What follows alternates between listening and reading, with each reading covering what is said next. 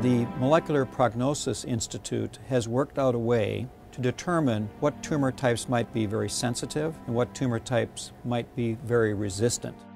When a person has progressed on all other therapies, you like to have something that's going to have the best chance of working for them. But sometimes when you have a new anti-cancer agent, you're not sure whether it would be most helpful for people with leukemia, or for people with lymphoma, a type of lymph node cancer, or for people with solid cancers like breast cancer or colon cancer.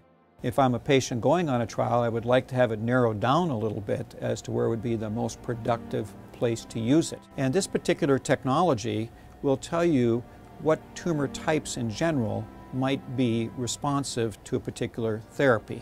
It utilizes millions of data points from a diverse group of different kinds of cancer. And it gives a drug development team an idea where to start as far as the tumor type that you might try to conquer.